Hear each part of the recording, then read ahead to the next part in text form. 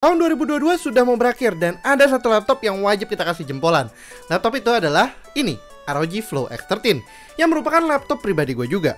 Laptop ini adalah laptop dengan form factor di kategorinya yang paling aneh. Sebuah laptop gaming dengan bentuk sebagai laptop convertible. Flow X13 ini bisa menjadi laptop normal, laptop dengan model tent, atau bahkan jadi full tablet. Bentuknya sebagai tablet ini menjadi favorit gue pribadi karena bisa memanfaatkannya sebagai drawing tablet Berkat adanya juga Asus Pen dengan teknologi MPP ataupun sebagai portable tablet Windows pada umumnya dengan ukuran 13 inci. Agak gede sih emang, but still very unique tapi tetap comfortable. Tapi apakah sebuah gaming laptop kalau nggak punya spesifikasi yang wonderful ya kan? Flow X13 memang bukan seri baru, tapi di model tahun 2022 ini Laptop ini dibekali oleh Ryzen 6000H series dan ditemani oleh GPU mulai dari integrated AMD RDNA 2 sebagai base model hingga up to Nvidia RTX 3050 Ti. Bayangin, laptop setara ultrabook, thin and light punya kemampuan hingga bisa ray tracing terbaik dengan budget yang lumayan menarik. Even dengan base modelnya, main game di sini super lancar karena RDNA 2 dari AMD-nya. Ini adalah upgrade terbaik dari seri Flow X13 yang sebelumnya masih bergantung banget sama AMD Radeon Vega yang sebenarnya sudah cukup dated. Tapi kalau berasa kurang, well, kalian masih punya satu opsi lagi untuk upgrade GPU-nya hingga RTX 3080 dan bahkan nantinya 4080. Ini semua berkat akses port yang dinamakan XG Mobile untuk performa desktop class GPU. Biasanya laptop nih gue pakai buat apa sih? Well, simply put, tentunya pekerjaan sebagai gamer, content creator, web developer, dan tentunya sebagai seorang business owner, semua bisa dikerjakan dengan amat mudah di sini.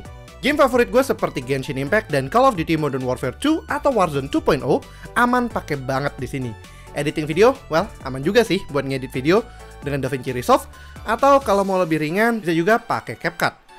Web developer aman banget. Dan sebagai business owner, buat spreadsheet, maintain business dashboard, persiapan pitching, dan lainnya, udah pasti lancar banget di sini. Asik kan? Itulah alasan kenapa menurut kita ini adalah laptop terbaik di tahun 2022 dari Asus. Sebuah opsi yang unik, niche, dan pastinya bisa memenuhi keperluan produktivitas gue pribadi anywhere, anytime. Oh ya, kemudian untuk harganya gimana? Ya, memang untuk harga sebenarnya laptop ini agak premium. Walau dimulai dari 19 hingga 20 jutaan untuk base model, ini tergolong cukup oke mengingat fitur-fitur yang kalian dapatkan. Sedangkan untuk SKU model yang gue pribadi pakai, ini adalah model dengan AMD Ryzen 7 6800HS with Radeon Graphics, ditemani oleh dedicated graphics sendiri, Nvidia RTX 3050, RAM 16GB LPDDR5 dan juga storage 512GB. Ini adalah model paling midnya, cuma punya spesifikasi yang nggak kalah maksimal dengan bandrolan harga mulai dari 24 jutaan. Nah, kalian kalau tertarik, berhubung nih udah akhir tahun, gue gue dan Asus juga mau kasih voucher spesial buat kalian. Buat ya upgrade laptop lah, laptop kalian ke laptop VivoBook maupun ZenBook yang cukup oke banget loh. Memang ini bukan ROG, tapi tentunya kalian akan bisa memakai laptop ini untuk semua kebutuhan kalian. Kalau kalian belanja di Asus Online Store dan pakai voucher kita yang tertulis di sini, kalian akan secara langsung mendapatkan potongan 500 ribu untuk pembelian laptop favorit kalian. Lumayan kan?